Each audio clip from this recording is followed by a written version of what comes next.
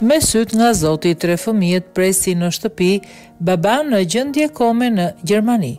Ka rezultuar me përmasa tragjike aksidenti i rëndë në një kantier ndërtimi në hafen të Hamburgut në Gjermani. Katër shqiptarë punëtorë ndërtimi humbën jetën pasi skela ku punonin u shemb, ndërsa një është në gjendje të rëndë shëndetësore.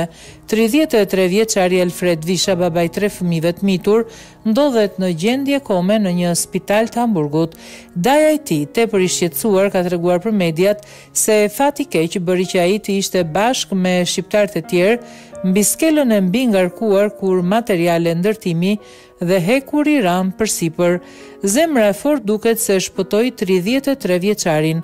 Si shumë shqiptarë të tjerë, për të siguruar jetën e tre fëmijëve të mitur, në një fshat të thellë të Matit, Alfredi shkonte në Gjermani për punë sezonale çdo tre muaj me pasaportë shqiptare dhe më pas kthehej.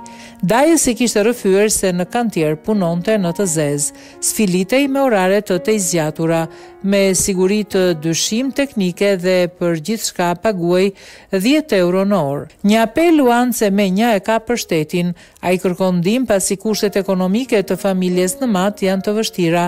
Cemenja identifikoi edhe një prej viktimave punëtor ndërtimi në atë skelë me origjinë nga Dibra.